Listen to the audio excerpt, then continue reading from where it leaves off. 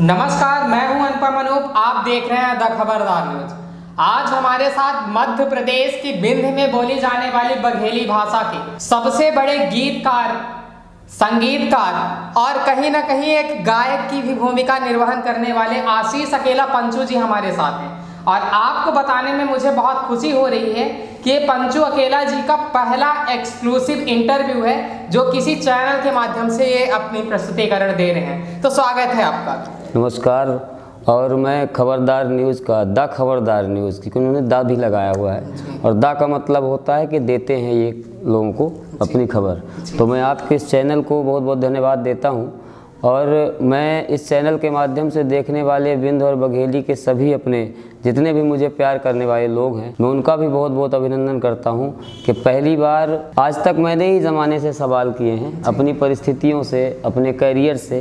लेकिन पहली बार आप अनुपम जी मेरे साथ सवाल जवाब कर रहे हैं तो मैं अकेला दरबार की तरफ़ से भी आपका अभिनंदन करता हूँ। बहुत बहुत आभार आपका।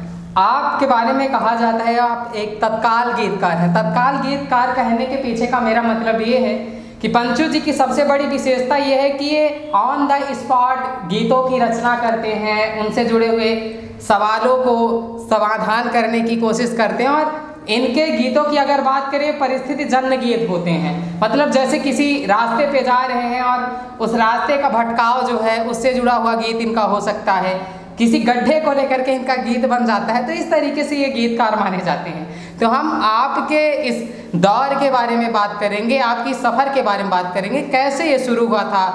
जी मैं बताऊँगा आपको एक्चुअली मैं एक बहुत सामान्य परिवार में जन्मा हुआ हूँ। मेरे पिताजी चतुर्थ श्रेणी के कर्मचारी थे और बड़ा बड़ा परिवार था पाँच बहनें थी और कम कमाई में ज़्यादा व्यवस्था करना और कैसे होता होगा एक छोटे से परिवार में? फिर उन्होंने मुझे पढ़ाया लिखाया और मेरे पिताजी ने हमेशा मुझे रोक टोक कभी नहीं की। जहाँ मैं जाना चाहता था मुझे उन्होंने घूमने का मौका दिया। अचानक जब मैं कक्षा सात में था आठ में पहुँचा तो मेरे दिमाग में कुछ लाइनें जुड़नी शुरू हो गई। तो मैं जैसे स्कूल के फ़ंक्शंस में अपने गीतों को लिखकर गाया करता था और ज़्यादातर कोशिश होती थी कि बघेली। जी। अपने गाँव की भाषा लिखी लोगन के बीच में खड़े होकर गावे बजावे के और हमारे दिमाग में एक बात रही कि जब जैसे स्कूल में कोई लोग आवत रहे तो उनके खातिर अलग टेबल अलग मंच लागत रहा और सब लोग खड़े होते रहे उनका खातिर ताली बजावत रहे। तो हमका हमेशा ये लगा कि हम जब बड़े होई तो हमें हमारे खातिर हो वहाँ से शुरुआत भय शुरुआत के बाद हम कवि सम्मेलन में शामिल हो लागे। और अकेला नाम हमारे बिंद के बहुत बड़े कवि और लेखक और अपने ज़माने में मध्य प्रदेश शासन में नौकरी करत रहे परम सम्मानित कालिका प्रसाद त्रिपाठी जी। बघेली के बहुत अच्छे कवि रहे तो ऊ हमका नाव दहीन अकेला। अकेला नाव के मतलब यह रहा कि हम अच्छा लिखत रहें अच्छा गावत रहें छोट उम्र रही तो कहीं कि सगली चीज़ तुम्हारे अंदर है ऐसे तू अकेला। जी। और हर एक कवि का उपनाम भी होता है। जी एक अद्वितीय छवि होने की वजह से आपको नाम निश्चित तो अकेला मिला। और उन्होंने मुझको सजेशन दिया कि आप अपने इस लेखन को संगीत के साथ अगर ट्राई करें तो नाम पोजीशन शोहरत कुछ और मिल सकती है। तो मैंने सन 2009 में शुरुआत की एल्बम्स की, जब तब सीडी का ज़माना हुआ करता था। मेरे ही लिखे गए भजनों को मैंने गाया, जिसमें पाँच हिंदी के भजन थे और चार बघेली के। और वो भजन सुपर डुपर हिट हुए, सन 2010 में वो रिलीज़ हुए, तरंग म्यूज़िक कंपनी से। माँ क्यों डाला पहाड़ पे डेरा? ये उसका शीर्षक था। उसके बाद फिर निरंतर जो 2013 तक मेरे सात एल्बम रिलीज़ हुए देवी गीत के एक भोजपुरी एल्बम भी मैंने किया था मैं गाना नहीं चाहता था भोजपुरी। एक्चुअली मैं स्टेज में गाता था भोजपुरी हमेशा। वो तो लोगों के कहने की बात थी कि स्टेज में कैसा होता है। फरमाइश फरमाइशों पर। लेकिन एक कंपनी ने मुझसे गवाया। तो क्योंकि बिज़नेस की बात थी तो मुझे गाना पड़ा। पर सन 2014 से लेकर और अभी तक जो कंटिन्यू सफ़र शुरू है मंचों की का रिकॉर्डिंग्स का और मेरे बिंद में उभरते हुए सभी जो नए बच्चे हैं उनका सहयोग करना उनके लिए गीत लिखना और मैं बघेली के गीत फ्री ऑफ़ कॉस्ट यानी फ्री में लिखता हूँ। मैं किसी से कोई पैसा कॉस्ट नहीं करता हूँ। हाँ जब वो कंपनीज़ में जाते हैं तो उनका जो भी शेयर है वो मुझको मिलता है वो अलग बात है। तो इस तरीके से मेरा सफ़र मेरे परिवार का सहयोग पूरी तरह से मेरे मित्र मंडली का मेरे गुरुजन का और माता रानी का खास तौर पर मेरे ऊपर आशीर्वाद है कि मैं कभी भी कुछ भी कैसा भी लिख लेता हूँ बोल लेता हूँ। और ये इंटरव्यू निश्चित तौर पर मेरे जीवन का एक लैंडमार्क होगा। इसके लिए फिर से आपको शुभकामनाएँ। जी हम भी आशा करते हैं कि कुछ ऐसा भविष्य में हो। जी। और अब अगला सवाल हम ये पूछना चाहते हैं 2009 में आपका पहला एल्बम आया था जो भजनों से जुड़ा हुआ बिल्कुल, बिल्कुल। बघेली और हिंदी दोनों जी जी। जी। तो इस भजन संग्रह की बात करें इस एल्बम की बात करें कोई एक इसका भजन आपके द्वारा दर्शकों को सुनाने का? वो एक गाना मेरा इस पूरे एल्बम में बहुत सुपर हिट हुआ था और वो पूरा बिंद आज भी सुनता है आज भी बजता है कंटिन्यू ओढ़े लाल चुनरिया बैठी चोरहट माँ महारानी के बब्बर शेर बोले कई दे कृपा हरा भगतन के दुख मनसा कल्याणी के बब्बर शेर बोले। ये मेरा गाना बघेली में बहुत सुपरहिट हुआ आज भी हुआ और लगातार चल रहा है। उसके बाद ढेर सारे एल्बम आए कई गाने हिट भी हुए कुछ फेल भी हुए क्योंकि हर कदम में आदमी सफल नहीं नहीं मिलती है।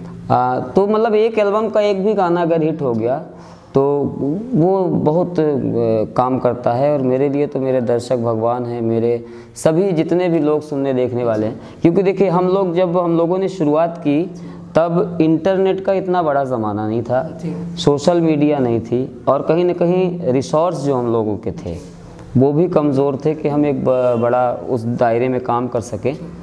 और आज की जो परिस्थिति है तो आज सोशल मीडिया है। आप जैसे द खबरदार न्यूज़ चैनल हैं, जो कि हम जैसे छोटे लोगों को बड़ा बना रहे हैं तो उसके लिए तो मतलब अगर तब रिसोर्स होता, लेकिन उसके बावजूद भी मेरा एक गाना है, जो मेरे कंपनी सोना कैसेट से निकला था, जो 15 मिलियन से ज़्यादा व्यूज़ हैं उसके, वो गाना है, तुम रूठी रहो माता, हम तुमको मना लेंगे भावों में असर होगा घर बैठे बुला लेंगे। तुम रूठी रहो माता हम तुमको मना लेंगे। तो ये ऐसा चलता रहा मेरा सफ़र और आज भी चल रहा है। अब मैं मैंने ये कोशिश की है कि अब मैं बघेली में मतलब गीत गाना बंद करूँगा क्योंकि लोगों ने खूब सुना और लोग कहते भी हैं कि आपके गाने नहीं आते।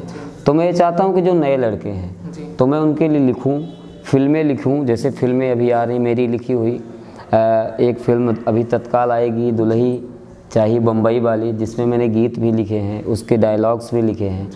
वो उसमें मेरा भतीजा अविनाश काम कर रहा है जो निश्चित तौर पर बिंद का सुपरस्टार है।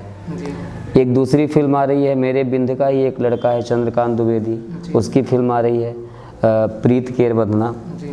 उसका एक सुपरहिट गाना अभी उसका जो सबसे शानदार गाना है वो मैंने लिखा है। वो भी मैं आपको मिन- दो मिनट सुनाऊँगा। ये फ़िल्म है एक फ़िल्म मैंने लिखी है साइकिल। जो। मतलब उसकी स्क्रिप्ट तैयार है स्टार कास्ट फाइनल है। और मेरे ये मेरी ये जो यात्रा है 16 तारीख की 15 तारीख को मैं निकलूँगा 16 को मेरा शो है दमन में दादरा नगर हवेली में। तो वहाँ से मैं 18 को मुंबई जाऊँगा। 18 को मुंबई में मेरा शो है। और उस शो में आ, उस पिक्चर का मेरा प्रीमियर होगा हम लोग उसकी शुरुआत करेंगे मुहूर्त जिसे कहते हैं। तो ये सफ़र चल रहा है बॉस। अब मैं ये चाहता हूँ कि बिंद में जितने भी बड़े लोग हैं जिनके पास रिसोर्सेज हैं चाहे किसी न किसी प्रकार का पावर है अगर वो कुछ चीज़ें किसी अन्य जगह पर अपना देते हैं जैसे डोनेशन तो मैं चाहता हूँ कि हमारे बिंद के जो गरीब तबके के लोग हैं जिनके अंदर टैलेंट है तो मैं सभी से निवेदन करूँगा, जो जिम्मेदार हैं, जिनके पास रिसोर्स हैं, भगवान ने जिनको दिया है तो उनकी मदद करें, अपनी भाषा के लिए मदद करें। मैं निवेदन करता हूँ, मुझे आप सबका प्यार चाहिए और कुछ नहीं, लेकिन जो भी हमारे छोटे बच्चे हैं, हमारे भाई हैं, जिनके पास टैलेंट तो है, लेकिन व्यवस्थाएँ नहीं है तो मैं चाहता हूँ, आप लोगों को भी मैं, जो आप, क्योंकि आप इस समाज के आईना हैं तो अगर समाज के उस वर्ग को आप अपने आईने में ले आएँगे तो निश्चित तौर पर उनको दुनिया पसंद करेगी जानेगी पहचानेगी। और ऐसे ऐसे लोग जो सड़कों में गाते थे सुपरस्टार हो गए। मैं किसी का इतने बड़े चैनल में नाम नहीं लूँगा लेकिन फिर भी एक बात तो है अगर बड़े लोग चाहें तो छोटे भी बड़े बन सकते हैं। जी और सोशल मीडिया एक ऐसा माध्यम है जो किसी को भी स्टार बनाने की क्षमता रखता है। बशर्ते आपके अंदर वो गट्स होने चाहिए निश्चित तौर पर एक चीज़ और है सोशल मीडिया में कुछ लोग वो काम नहीं कर रहे हैं जो काम होना चाहिए। जी। और जहाँ हो रहा है वहाँ पर असर है। जी। हमारे पास स्मार्टफ़ोन है उसमें फुल डेटा है। जी।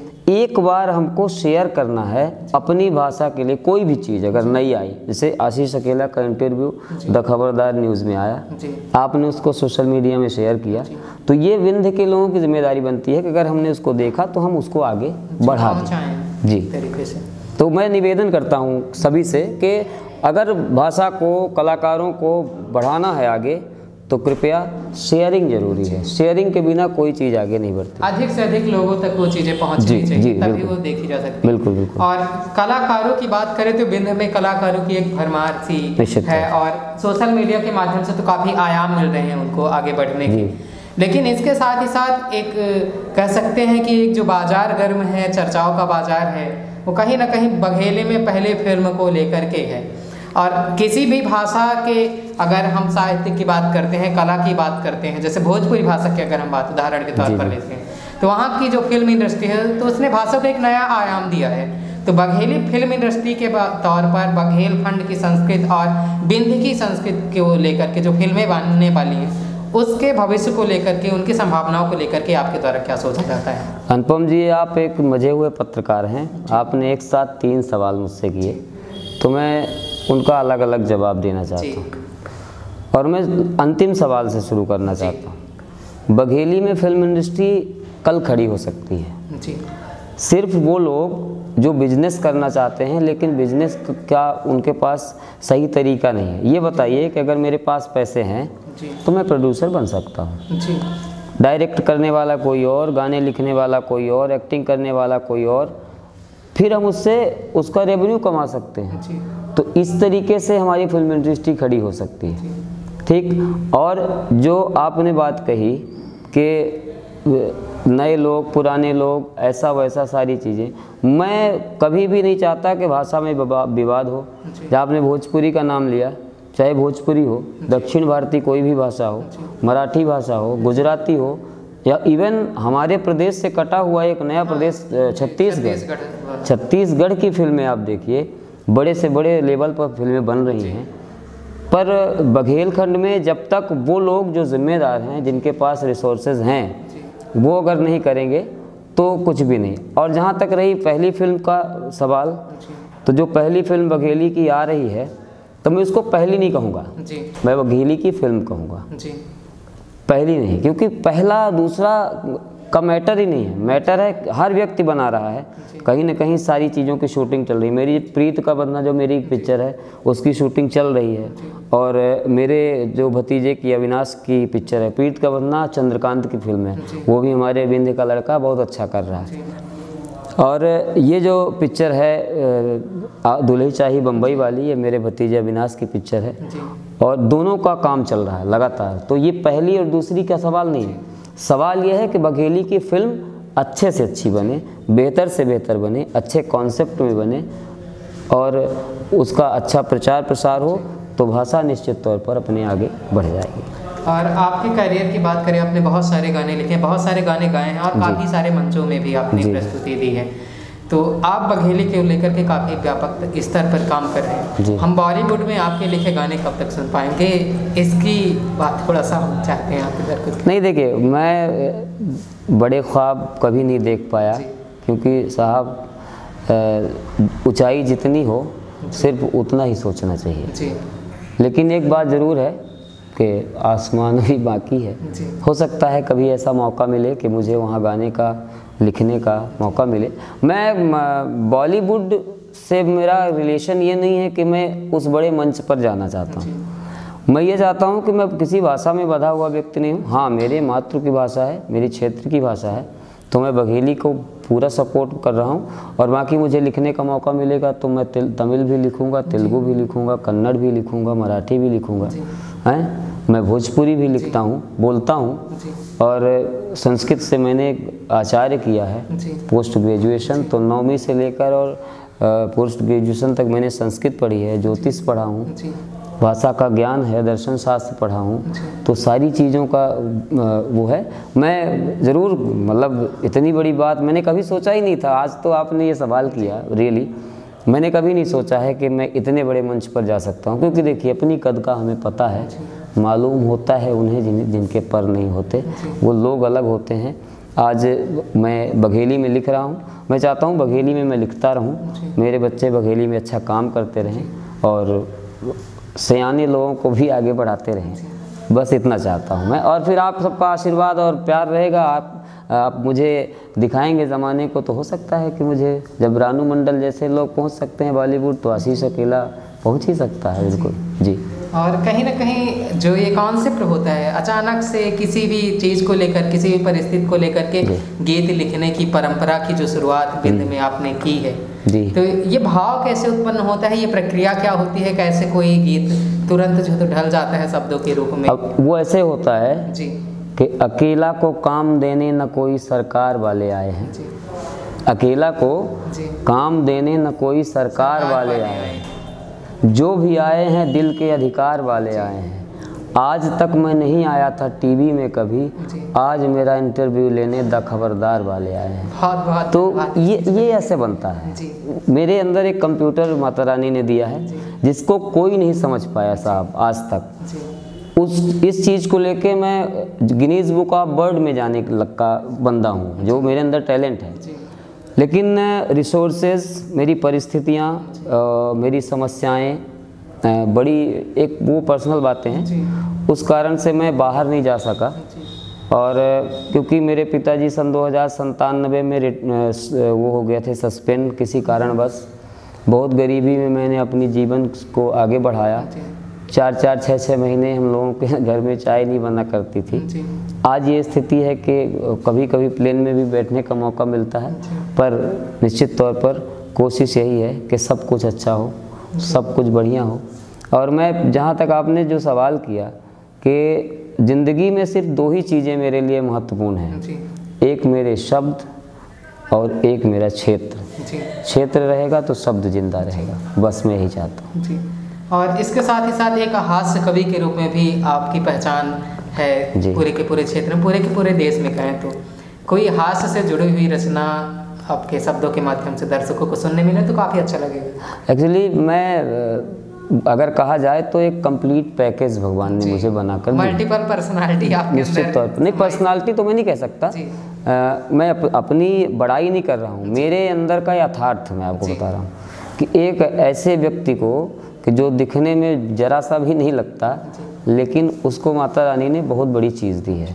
मैं तत्काल कुछ भी गा सकता हूँ कुछ भी लिख सकता हूँ ना मैंने कभी सीखा है। तो जो हास्य की बात है मैंने हास्य गीत कभी नहीं लिखा। जी। भतीजा अविनाश जब से काम करने लगा बघेलखंड के वीडियोस में तो उसने कहा चाचा थोड़ा सा मेरे लिए कभी ऐसा लिखिए। तो मैंने पहला गाना उसके लिए लिखा कि दुल्ही पैसा लुकाया है हमार भोला जी। जी। उसके लिए मैंने पहला गाना लिखा सन 2017 में। और सन 2017 में फिर दूसरा उसके लिए मैंने गाना लिखा राखी का बंधना वो भी आप उपलब्ध है अविनाश के चैनल में। तो उसका ऐसा था कि लागत है न पहुँचब एहदार भोला जी हो दुलही पैसा लुकाए है हमार भोला जी। ये गाना फिर वो गाना अभी जो सबसे बड़ा सुपरहिट हुआ अविनाश तिवारी का अंगा भय ज़िंदगी। अंगा शब्द से कोई गाने की शुरुआत नहीं हुई थी आज तक ना हिंदी में और ना किसी भाषा में। अंगा माने कुछ नहीं। लेकिन अब यह हो गया है बिंदमा कि अंगा माने पंचू के गाना होता है। ये एक ट्रेंड बदला है। वो बहुत सुपरहिट गाना हुआ। उसके बाद अविनाश का एक गाना मैंने और लिखा। थोड़ा सा इस अंगा भय ज़िंदगी को सुनना चाहेंगे। अब एक्चुअली मैं गाऊँगा तो शायद कॉपीराइट हो। क्योंकि वो अविनाश की आवाज़ में हाँ क्योंकि उसका राइट तो मेरे पास ही है मेरे शब्दों का। लिरिक्स तो आपने हम्म। लिखी हुई वो बहुत ही गाना प्यारा था मैंने लिखा था। अंगा भय ज़िंदगी जब से भा प्यार मसूरी और जोन्हरी बिक गए अरहर के दार। पाइस मन से रुआ बहक गए बिटीबा दई के कटोरा खसक गए बिटीबा ये गाना मेरा। उसके बाद एक गाना जो अभी पूरे बिंद में सबसे सुपरहिट है मेरा। मिस कॉल एक बिटिया रात के 12 बजे मिस कॉल मारी थी। वो गाना सन 2011 में मैंने लिखा था। और लगभग लगभग एक हज़ार से ऊपर स्टेज शोज़ में मैं उस गाने को अच्छा। गा चुका हूँ। और उसको फिर मैंने अभी सन 2017 में जिस दिन अंगा भाई ज़िंदगी रिकॉर्ड हुआ सेम डे पे इट्ठे बिटिया रात के 12 बजे मिस कॉल मारा थी रिलीज़ हुआ। फिर एक गाना मैंने और हास्य गीत को लेकर ही बनाया इट्ठे लड़का दयामन बेकार हो गया। वो भी मेरा सुपरहिट गाना है आप सबने खूब सुना। अभी जो लेटेस्ट है देवता तोहका बनाए नहीं डिटॉल डायर के जो पिक्चर में आ रहा है दुल्ही पैसा दुल्ही शाही बम्बई वाला। और उसमें एक और गाना है जो अभी लेटेस्ट में और एक खास जो कॉमेडी गाना आप उसको कहें या कि कुछ भी कहें कि जो बेवड़े होते हैं शराब पीने वाले वो नया साल अपना कैसे मनाएँगे उसके लिए मैंने एक गीत लिखा है और अविनाश ने गाया है। और वो बहुत जल्दी मतलब कल आप आप उसका ऑडियो रिलीज़ देखेंगे। आ, तो उस वो ऐसा गाना मैंने लिखा था कि आसौना बासाल ऐसन मनाउब चर्चा रही या जमाना में। आसौना बासाल ऐसन मनाउब चर्चा रही या जमाना में। भट्टी में डीजे लगावा रही यो पार्टी चली मैं खाना में। तो ये गाना चल रहा है इसी तरीके से सफ़र। अब आगे देखिए क्या होता है। तो काफ़ी अच्छी बातें हुई काफ़ी सफ़र के आपके बारे में बात हुई। जी। हम चाहते हैं कि इस चैनल के माध्यम से आपके शब्दों से अभी कुछ चैनल के लिए कुछ सुनाएँगे मैं तो बहुत बहुत धन्यवाद देता हूँ और अपने जीवन को सौभाग्यशाली समझता हूँ कि पहला इंटरव्यू मैं आपको दे रहा हूँ। और ये मेरे जीवन का सबसे पहला मतलब लक्ष्य है जो। पूरा हुआ कि कभी न कभी मुझे भी कुछ लोग पूछेंगे। जी।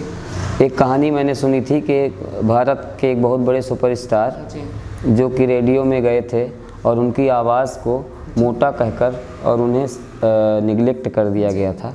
और आज उसी आवाज़ के दीवाने हैं लोग। वही रेडियो चैनल उनके एक सेकंड की बाइट के लिए कम से कम तीस साल तक वेट किए और उस महान शख्सियत का नाम अमिताभ बच्चन जी है। तो कभी भी कुछ भी हो सकता है। पर खबरदार द खबरदार न्यूज़ जो चैनल है, आप बिंद और बघेली को बहुत आयाम दे रहे हैं, सबके इंटरव्यूज़ रिलीज़ कर रहे हैं, बहुत अच्छा। और मैं आपके लिए सिर्फ़ एक ही बात कहूँगा, किसी तरीके से करते जाइए। सफ़र जिंदगानी का कटता रहेगा। सफ़र जिंदगानी का कटता रहेगा। अखबारों की लाइन निकलती रहेगी।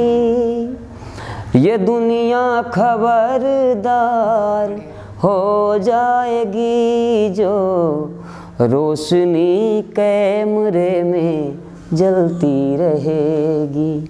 तो ये खबरदार न्यूज़ चैनल के लिए मैं शुभकामना देता हूँ और आपको खास तौर पर। जी। जी। बहुत बहुत धन्यवाद अपना अमूल्य समय द खबरदार न्यूज़ को देने के लिए। और एक चीज़ मैं और कहना चाहता हूँ मैं पत्रकार की बात को नहीं काट रहा हूँ क्षमा करिएगा। एक बात मैं कहना चाहता हूँ फिर से पूरे बिंद के लिए बिंद के उभरते कलाकारों के लिए अपने सभी साथियों के लिए अपने सयानों के लिए बुज़ुर्गों के लिए जो। कुछ ना कुछ कर सकते हैं। आपके सामने कोई बच्चा है जो बघेली में कुछ काम करना चाहता है अगर आपको बघेली के बारे में पता है बघेली संस्कृति बघेली पकवान बघेली औजारों के नाम जो भी एक बघेली का ओरिजिनल चीज़ है। और एक चीज़ जो आपने कही थी कि बिंद का संगीत। बिंद एक ऐसी जगह है जहाँ तानसेन गाया करते थे। ऐतिहासिक अगर बात ली जाए तो राजा रामचंद्र जुदेव जी जब रीवा के महाराजा थे उस समय उन्होंने डोली में कंधा दिया था जब अकबर के दरबार में उनको भेजा जा रहा था। तानसेन रीवा राजघराना के के- दरबारी गायक थे। बीरबल यहाँ पैदा हुए। बूढ़ी माता का स्वयं स्थान है। जिस बिंद के कोतवाल स्वयं चिरहुला नाथ हैं जहाँ मत महामृत्युंजय महाराज बसते हों हैं जहाँ एक तरफ़ कष्टहर नाथ की मूर्ति लगी हो। तो अब इससे बड़ी चीज़ इससे बड़ा संगीत तो कहीं नहीं है क्योंकि वेद लिखा गया है साम वेद संगीत के लिए। और भगवान का रूप कोई भी हो हर रूप में संगीत है बसता है।